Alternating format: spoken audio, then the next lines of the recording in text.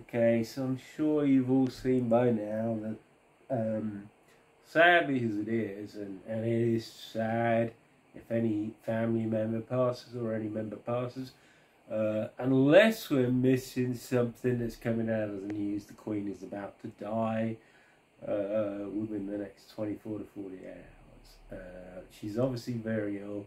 Her family have been recalled to Balmoral. Every member of the family has been recalled to Balmoral. She's obviously really not well. Now, it's a very strange time that goes on after the Queen dies. Um, I'm a member of Royal Mail as a postman. Uh, I think technically we would have been recalled, but I don't think it's going to be relevant because we're on strike, which is very bizarre. However, what I want to talk about is not the things that everybody else is going to talk about. What I want to talk about is how are you going to feel when you die? How does it feel when you know you're passing? Now, we've all got different beliefs, different faiths, and different ways of thinking. Um, but how's it going to feel when you know you're just about to go? Is it frightening? Is it comforting? Is it... I don't know. You tell me. You tell me. How does it feel when you're just about to pass?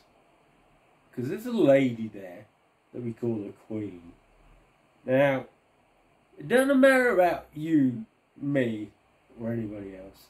That's the Queen. And she's no different to any other person in life. It's just like your life is just about to pass. And if you have to contemplate it, if you're lucky enough, I would say, to contemplate your life passing, how do you feel? Because there's an awful lot of people who don't get time to think about it. Uh, but how do you feel about your life passing? Um, don't know. Don't know. So it's going to be a, a strange time in the next few days, and, and uh, there's videos have been put out years ago in terms of when the Queen passes. Um, I don't know what's going to happen. It, it, you don't know what's going to happen. None of us know. It, there's videos out there, and I'm sure you want to look them up now. Uh, will they still exist? Well, it depends, doesn't it? it? It's it's the protocol set by the Prime Minister and the Parliament, or is it set by the the Royal Household? I don't know who sets the protocol.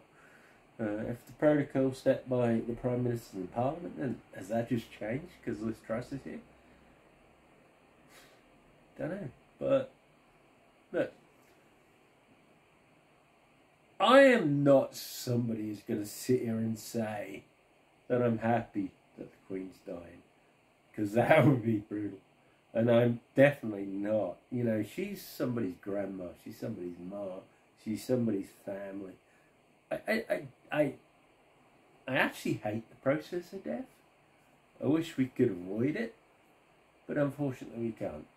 I wish we could avoid the process of death. And if there's any scientists out there that can do that. Probably wouldn't be a good thing either. yeah, probably wouldn't. Uh, anyway, um, yeah, so the news that we've had today is that the Queen is on the edge of death. Um, they haven't actually said that, but they've made it clear as day that that's the case. She's about to go. How are you going to feel on your deathbed? How are you going to feel when you're laying there where she is? What's going to go through your mind? It's a question I'm asking. Anyway, guys, bless the Queen, bless the royal family, and bless you all.